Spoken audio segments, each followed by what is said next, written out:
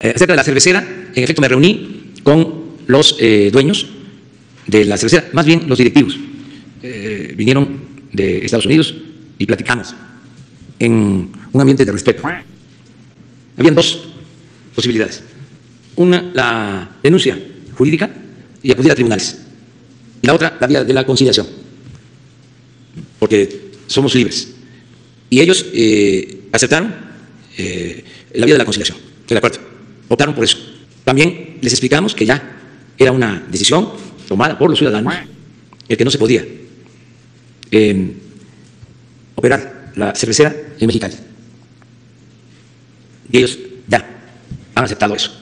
Y en tercer lugar, ya estamos viendo opciones. ¿Qué alternativas? Otros sitios eh, y otras eh, opciones se van a analizar. Pero quiero decirles que me quedé muy satisfecho